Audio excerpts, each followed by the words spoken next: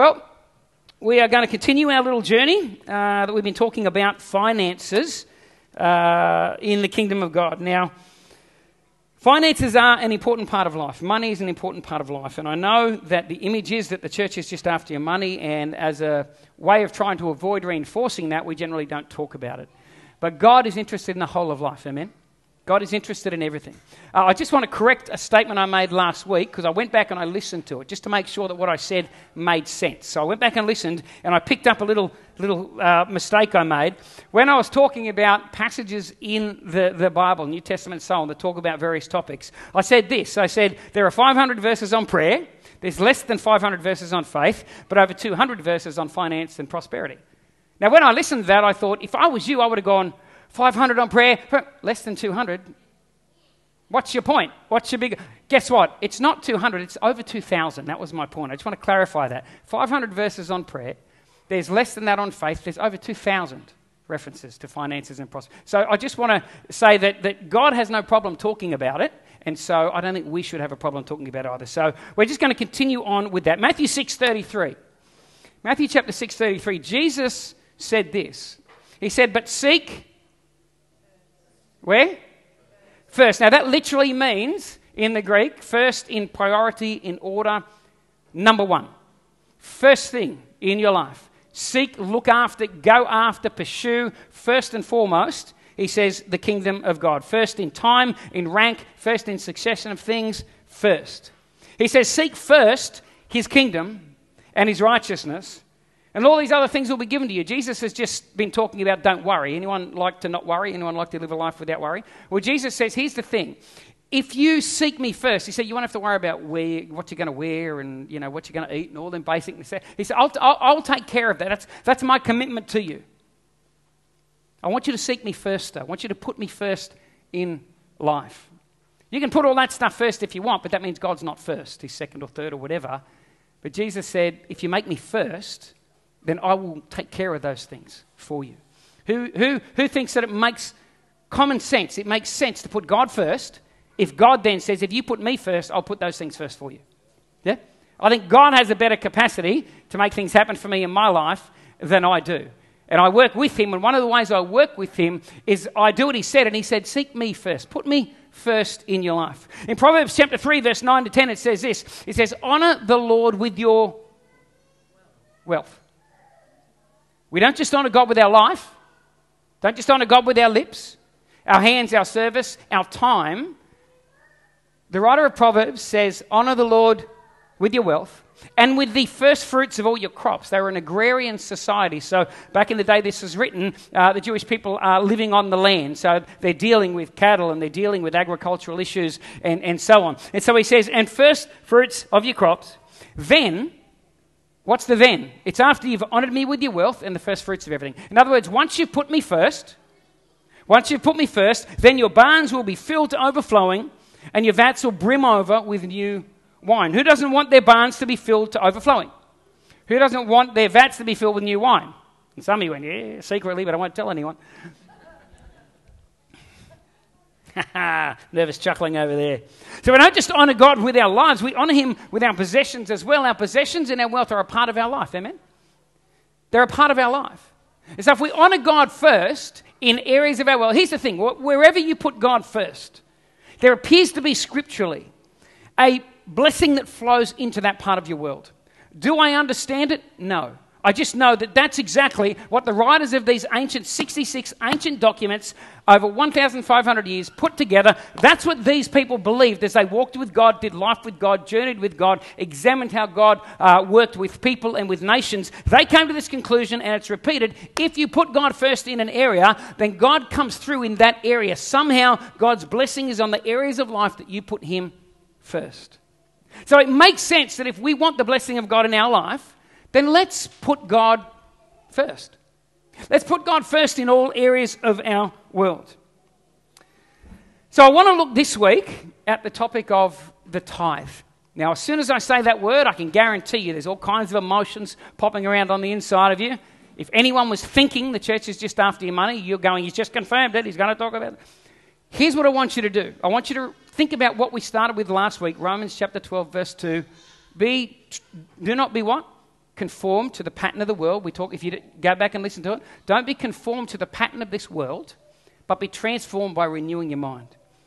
I want to say to you that for many people, there are so many misunderstandings about what tithing is and the issues that come around tithing. So here's what we're going to do for the next few weeks. Today, I want to talk a little bit about the tithe. In, then, after today, for the next few weeks, I'm going to jump from what we're going to talk about today straight over into the New Testament. And we're going to have a look at whether the principles and things we talk about today are transferable into the New Covenant, the New Testament, New Agreement after Jesus came and did what he did. Is that okay?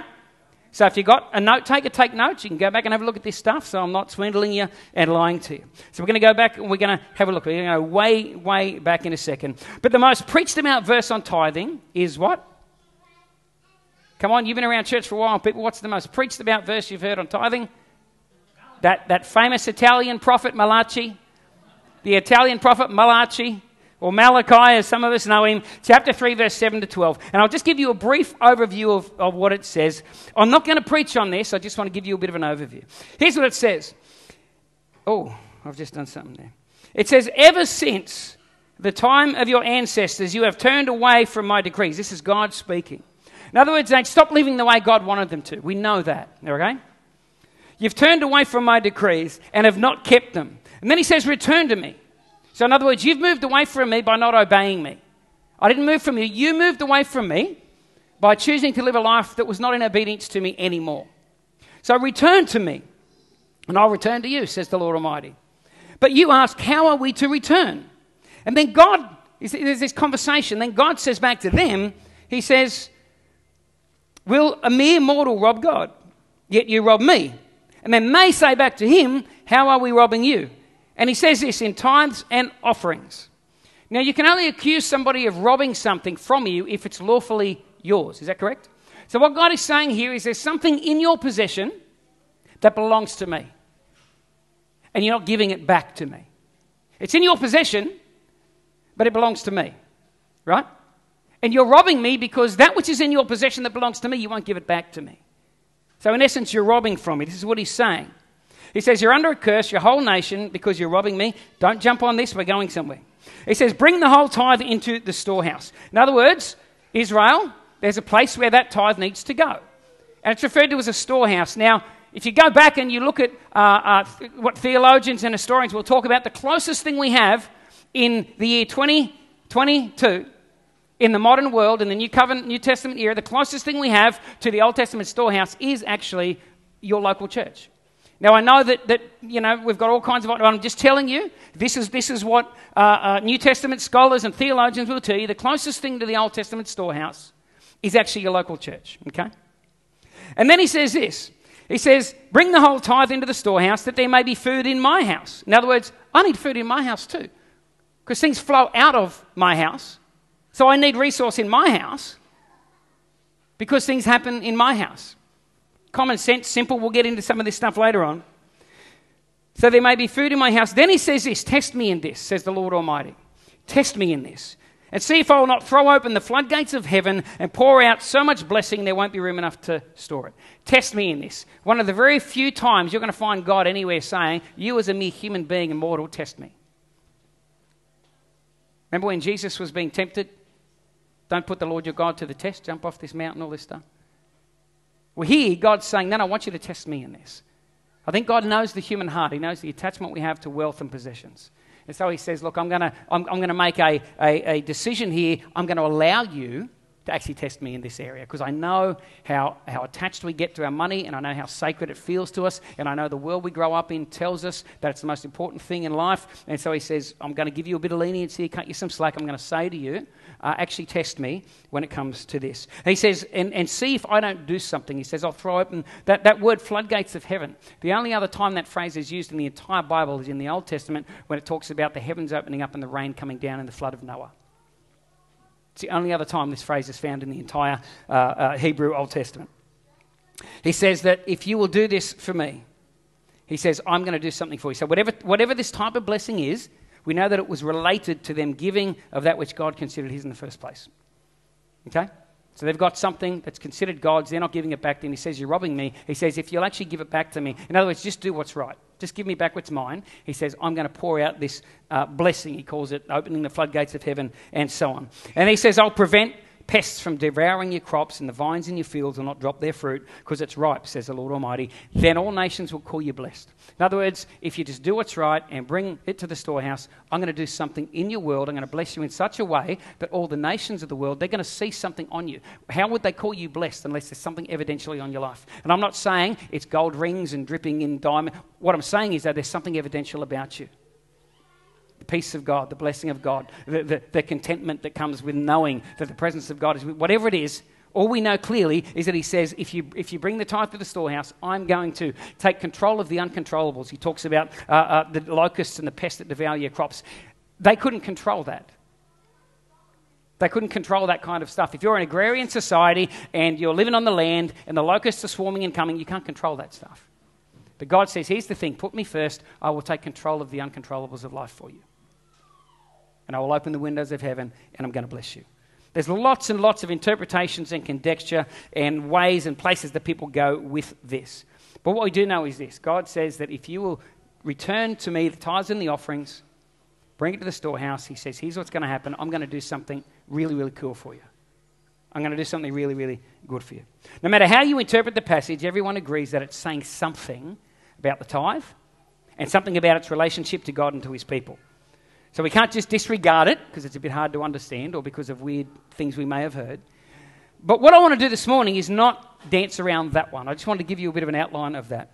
What I want to do is go back, way, way back, like in the movies. Let's go back, way back, to the first time the tithe is ever mentioned in the Bible. Now, tithe simply means this it means what? 10%. That's what tithe means. Tithe means 10%. So that's why if you give 10%, people say, oh, you're, you're a tither, you know. If it was 20, it'd be a tithe, right? You'd be a tither. If it was 80%, you'd be either. And if it was 90, you'd be neither. There you go. Following that logical sequence of events. But tithe simply means 10%. Right? Simply means 10%. Now, the first time it's mentioned is Genesis 14, verse 18 to 20. And here's how it reads It says, Then Melchizedek, king of Salem, brought out bread and wine. He was priest of God Most High, and he blessed Abram, saying, Blessed be Abram by God Most High, creator of heaven and earth.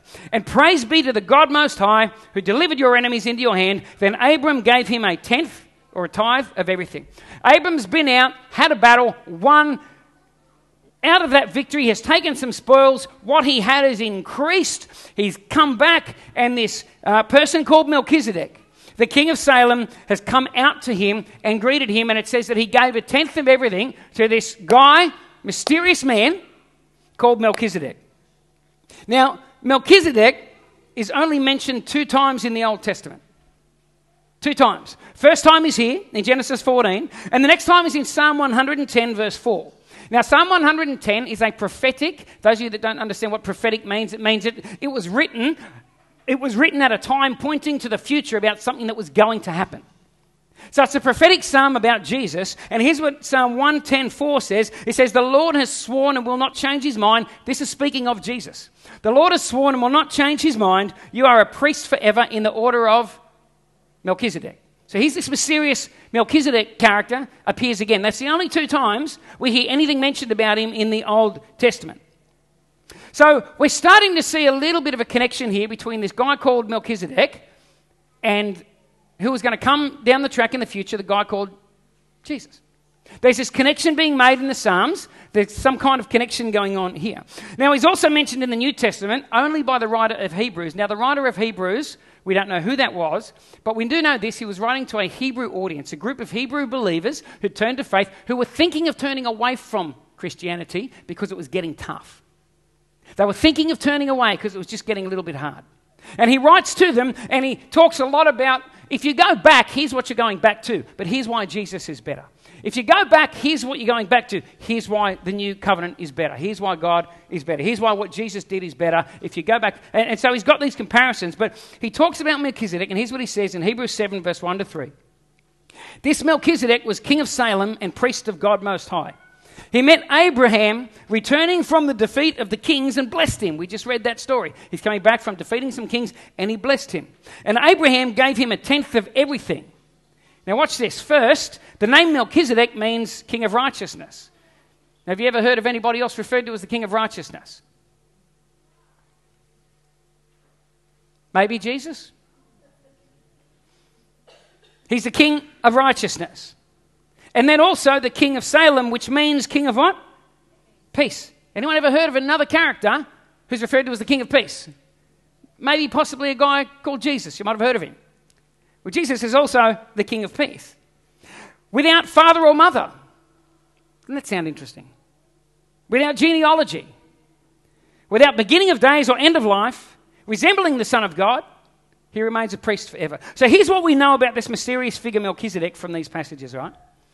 We know that before there were ever 12 tribes initiated, you go later on, I think it's Genesis 49, somewhere there you see these Israel broken up into 12 tribes. Then one of those tribes, called the Levites, are appointed to be priests, right? Melchizedek is a priest before there was ever any priests. He was a priest before God ever created a priestly order, right? So Melchizedek is a priest before there were priests. Secondly, Melchizedek is referred to as the king of righteousness and the king of peace. We know that. Same as what Jesus is, referred to the king of righteousness and the king of peace. Jesus, by the way, was also a priest before God outside of time. He's been the Son of God always, beginning and end. Jesus didn't just suddenly appear. God didn't just suddenly appear on the scene when Jesus was born. And the third thing is that Melchizedek brings bread and wine to Abraham. It's interesting that he brings bread and wine to Abraham. What does that sound like to you? It sounds like communion, doesn't it? So before the Passover, here's the thing the communion that, that, was celebrated when Jesus sat at the Last Supper was not the same way you and I take communion. He was celebrating something that happened years and years ago in the Exodus. You all remember the story? Now, if you're visiting here today, we don't normally get this sort of deep, but I'm doing this for a reason. So you go back to the story of Israel being under bondage in Egypt, and God comes along and he sets them free. Do you remember that? And as a, as a part of setting them free, um, there's a, a, process where Israel is told, kill an animal, put the blood all over the doors and the windows of your house, and the angel of death will come, and when he sees the blood, he will leave your family alone and he will go. And the Egyptian uh, children were born, firstborn, uh, were, were killed. And the, the, by that stage, Pharaoh had finally got the point and kind of said, That's it, you Israelites, get out of here. We don't want to keep you in bondage as slaves anymore. Changed his mind later, chased them, didn't work out too good for him. But what Jesus celebrated at communion was actually the Passover.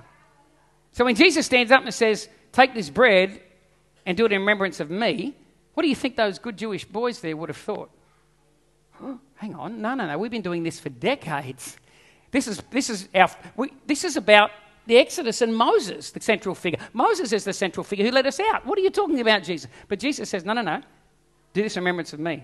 Drink this in remembrance of me. Can you imagine what that must have been like for them to sit there and go, hang on a second, you are changing the entire meaning of this thing? Or was he? Maybe he was just bringing it back to the original meaning. Abraham, the father of many nations, the father of faith, takes communion with Melchizedek, who sounds to me like a picture of Jesus. And they have communion well before the Exodus is ever established. Melchizedek's a priest well before the law is established and there are priests and so on. Sounds to me like something's going on there. He had no father, he had no mother, no genealogy, no beginning and no end. Melchizedek sounds to me like a type of Jesus in the Old Testament. He comes on the pages, he takes communion with the Father of many nations. We don't know where he came from, we don't know where he's going, no lineage, no birth, no death, all that stuff. That just sounds awfully outside the realm of being a normal human like you and me. It sounds to me like he could have been an image of the Son of God that was coming. And Psalm 110 tells us that there's a linkage here between Melchizedek and who he was and what he did, and Jesus when Jesus comes. So, kind of sounds a little bit like Abraham gave a tenth of everything to Jesus. Kind of the image that's being presented there. He gave a tenth of everything to Jesus. So here's what I'm going to do now. We're going to examine some of the principles we see here in the first ever mention of the tithe. Okay? In theology studies, there's this thing called the law of first mention. which means go back into the Word of God and find the first time that something's talked about. And you'll get some principles and some things out of that that will carry on all the way through with that particular thing. And so we're going to go back, and I'm just going to pull out in the remaining time, we've got three simple things that I see in this very first instance where the tithe is mentioned. Now, what we're going to do over the next few weeks is we're going to go into the New Testament. We're going to look at these same three points. We're going to see if they're transferable into the New Covenant and into the New Testament. Now, the first thing we see here about Abraham is this Abraham gave voluntarily. We think tithe, we think law, we think legal requirement. Abraham gave a tithe voluntarily. The first tithe ever given was given between 300 and 600 years before a law was ever given to Israel. Think about that. You ever heard anybody say, oh, we don't have to tithe, we're not under law? Tithe didn't come about with the law. First tithe was three to 600 years before law was ever given to the nation. So people who say, well, I don't have to tithe anymore because I'm not under law, you don't understand the tithe. You've got a wrong understanding of it. All you're doing is looking at the, at the, the, the law that was given to the nation of Israel. And by the way, if you go and look at the law eh, of tithing the way that Israel was given it, here's the thing they gave anything, their tithe was anything between 22 and 36%. It was between 22 and 36%. If you take all the different various tithes and stuff under the actual law that was given to Israel through Moses, there's 22 to 36% is what they gave and they called it a tithe, but it was more than 10. But here we're going back and we're seeing that when, Mo, when, when Abram gave this tithe, he gave it voluntarily. There was no law that said he had to do it. He chose to do it. He chose to give it. The principle of the tithe never entered through the giving of the law, so neither does it exit with the passing of the law. Again, we've got to renew our minds when we hear that word because we hear the word tithe, we think something. But it is what we're thinking actually what these ancient writers told us? 300 to 600 years before the law was ever given, a man tithed to God. I think that's really, really important.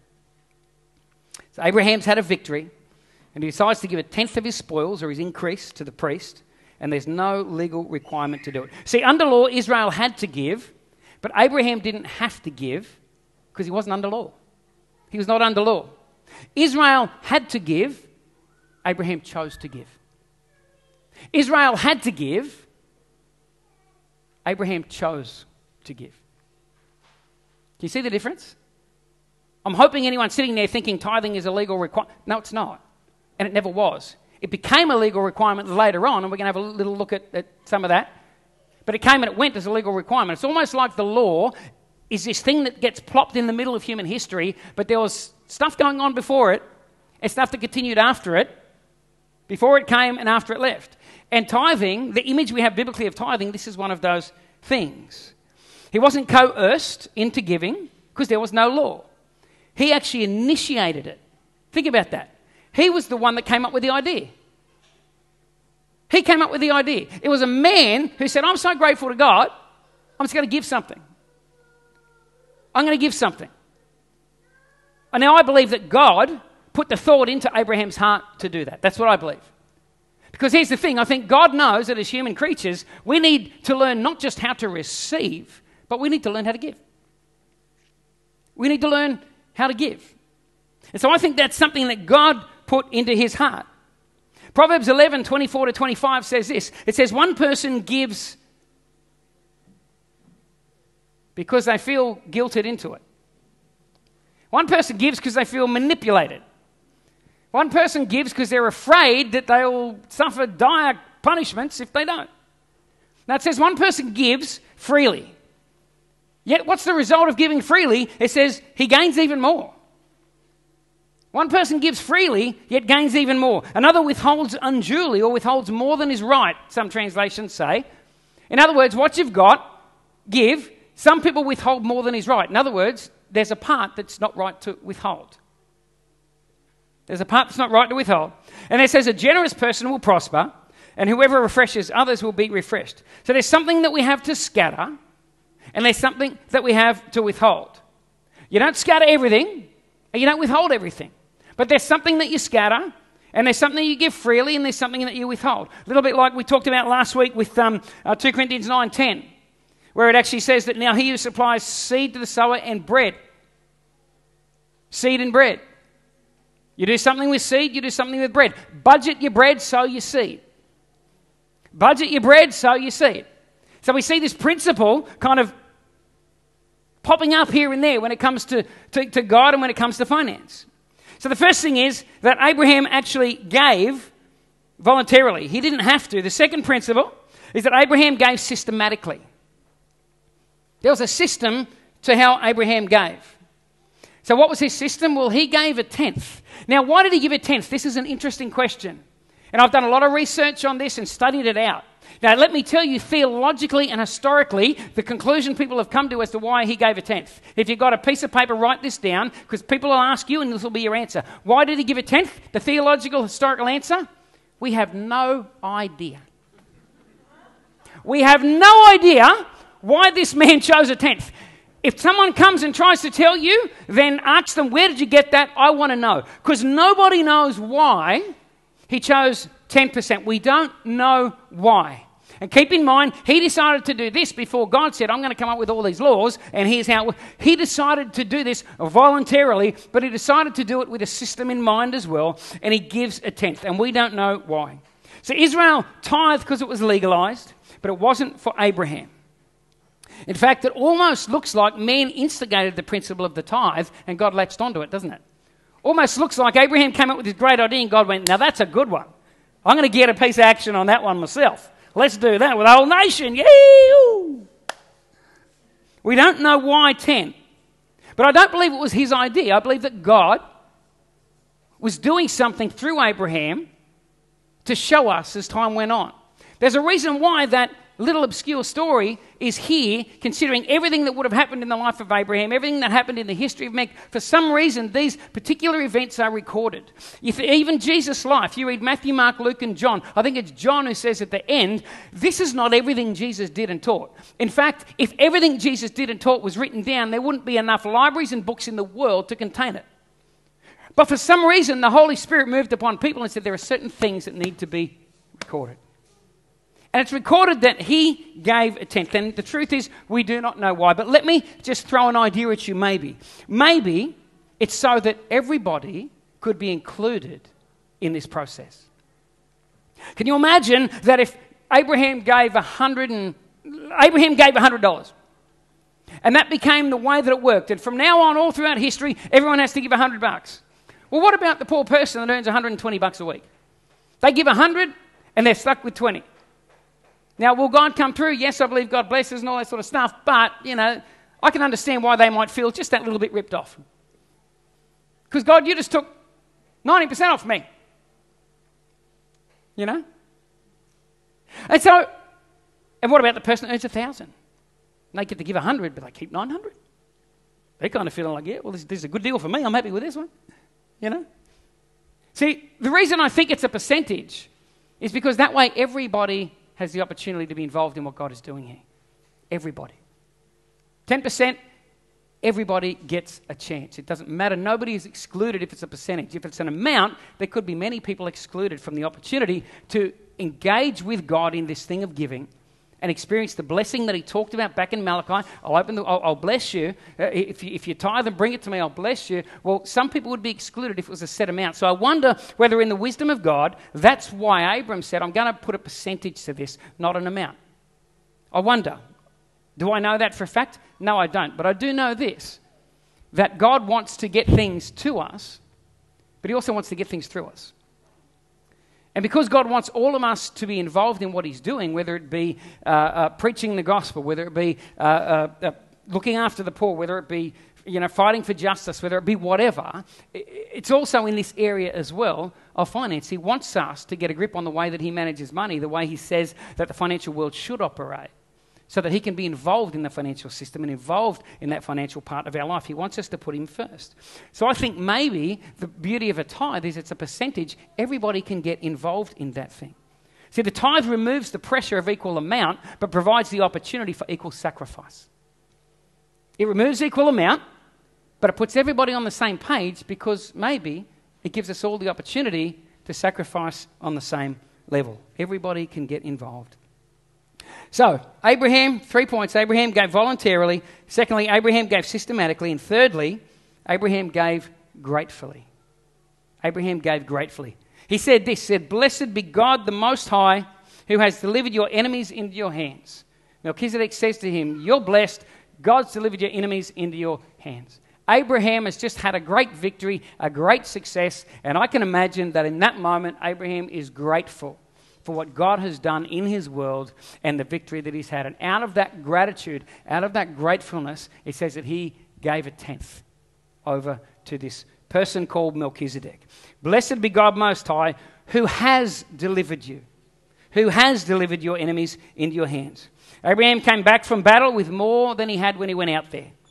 And I think this was a grateful response from Abraham for what God had done in his life. In other words, I'm already blessed. I'm already blessed. And because I acknowledge the blessing of God that's already happened on my life, from that place of gratitude and gratefulness, that's where I give. See, God has given you so much already. And I know there are people in here, and some of you are looking around going, yeah, well, that guy's up here, and I'm. De-. No, no, no. God has given all of us something. Deuteronomy 8 says this You may say to yourself, My power and the strength of my hands have produced this wealth for me. But remember the Lord your God, for it's He who gives you the ability to produce wealth and so confirms his covenant, which he swore to your ancestors as it is today. God gives you the ability, the capacity, the skill set, the opportunity to generate and earn an income and earn a living for your life. If God's the one that gave you the very breath, all he's got to do is take away that first breath in the morning. You ain't going to work that day. If you ain't going to work, you're not earning nothing, are you? But he doesn't. He gives you that breath he helps you get out of bed and He gives you the, the, the ability. He gives you the ability and the capacity to earn an income. God has given us so much already. So, the three things, the three principles that we see, we're going to go into the New Testament next week and we're going to start to look at these and see are these trans. Because if they're not in the New Covenant and New Testament, then maybe we can chuck the tithe out. But I just want to go into the New Covenant, New Testament, and have a look and just see whether these principles are there. But when you think about tithing from now on, here's three things we've just talked about that tithing is voluntary. Abraham, the first tithe ever given, was given voluntarily, not under pressure or coercion. Secondly, it was given systematically. There was a system to it. It wasn't just some random, well, I'll just give if I feel like it, when I feel like it. It's interesting. I know some people that say, I don't tithe, but I just, just, just you know, because God owns everything. It's interesting. Most people I know who say, I don't tithe because God owns everything give very little anyway. Because God owns everything. You know, yes, God does own everything. But he still said to Israel, even though he owned everything, he said, Here it is, give back to me that which is rightfully mine. Even though I own it all, I could keep the whole 100% if I wanted, but I'm not. I'm going to give it all to you. And you just give back to me that which, I, that which I'm asking of you. This is the way it worked under the old uh, covenant with the law. You just give back to me the percentage that I'm asking for. In other words, it's an obedience thing, isn't it? Under the law. It was an obedience thing. But he had a system to it. And thirdly, Abraham gave gratefully. It was a, a, grateful response for what God had done. Now, I just want to finish with this. Let's look at the second time the tithe is mentioned in the Bible. Second time. It's with a guy by the name of Jacob.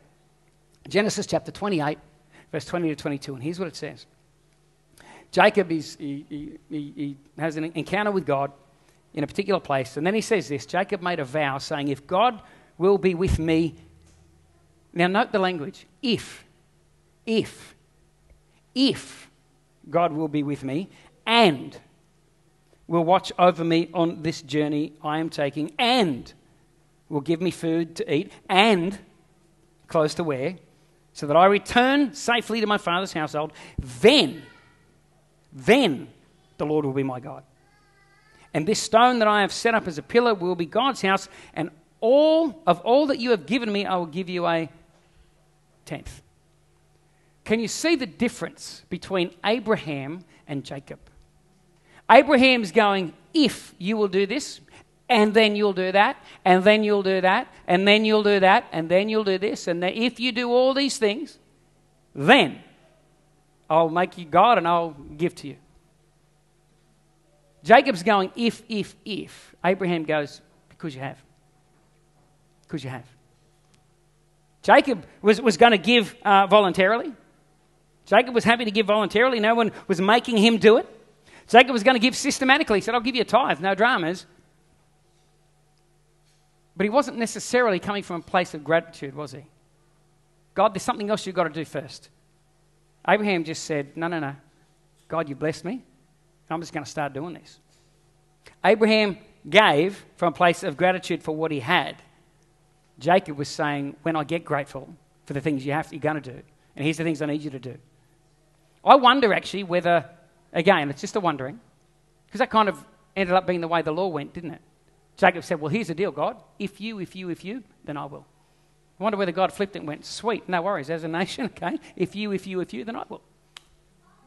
You want to play that game? I'll play it too. Let's play it for a few hundred years. And then I'll send my son Jesus. We'll wipe that out. And hopefully we can go back to having a proper relationship. There's not some legal contract, but a grace, love filled relationship that we have with Jesus. Jacob, if you will, then I will. Abraham, because you have, I will. Abraham gave out of conviction of the goodness of God upon his life. Jacob said, Well, if you do, if you do, then I will. He was going to give out of convenience. When it's convenient for me, God, then I'll do it. Are we going to be givers like Abraham, or are we more like Jacob, still sitting back waiting for something else to happen before we decide to allow God to get involved in the financial part of our life? That's a question we all got to think about. Here's what I know the best way to become a cheerful giver is to look at the blessing you have, not the ones you want. Look at where you are, not where you want to be. Because each of us are blessed of God. So, next week, what we're going to do, we're going to take those three principles voluntary, systematically, and gratefully and we're going to jump all the way over the law. Forget that period of law. We're going to jump right over because we started outside of the law, haven't we? Everything we talked about today is outside of law. We're going to jump right over the top of the law. We're going to land in the New Covenant, the New Testament, and we're going to look at those three principles and see do they still have a place in, in the financial world and in our giving and in our life and our relationship with God outside of law? Because I believe this that the tithe is not a legal requirement in the New Covenant, just like it wasn't in the Old. I believe it's voluntary, just like it was in the Old. But I believe it comes out of a grateful heart. And until we recognize and get grateful for the things God has done for us, if we're always sitting looking, waiting for something else, God, when I have $1,000, I'll give. When I earn $5,000, I'll start giving. God, when I've got this bill paid, I'll start giving. Here's the thing we'll be just like Jacob. You just keep pushing the bar back and back and back. I'd want to be like Abraham and go, God, you know what? You have blessed me where I am right now. And I'm going to start this process right now. Remember, in Malachi, God said, Test me because I know it's hard for you to get your head around it. I know that the first thing you think about is you're going to miss out, but God made it very clear to them if you start doing this, you're not going to miss out. I am going to look after you. Amen. Lord, thank you for your word, God. Thank you for uh, this opportunity again this morning. And uh, look, Lord, I just pray, Holy Spirit, would you just speak? God, speak to us about that part of our world, God. Father, we desire in our hearts to just live the way you want us to live. And the world tells us that this is important and that's not. And the world tells us that, you know, God's interested in that, but He's not interested in this. But Lord, this, this book is about the whole of life, every single thing to do with life, not just the spiritual, religious kind of stuff. Lord, you made life and you know how it works best. And so, Father, I just pray, Holy Spirit, would you just continue to speak to people in this place, Lord? God, it's a private and a personal thing. Yep, I get that and nobody is being told to give. Nobody is being manipulated or pushed or. God, we just want to look at the Word of God as it is and then let people make their own decision based on what they're seeing, Father. So thank you for this morning, Lord. Just seal in people's hearts the things you've been speaking to them, Lord. And God, as we leave this place, go with everybody, keep us safe in the week to come. And God, I pray this week, give each of us the opportunity to bump into somebody out there that doesn't realize how loved they are by you, God. Somebody that doesn't know about your death, burial, resurrection. It doesn't understand that you did something for them 2,000 years ago.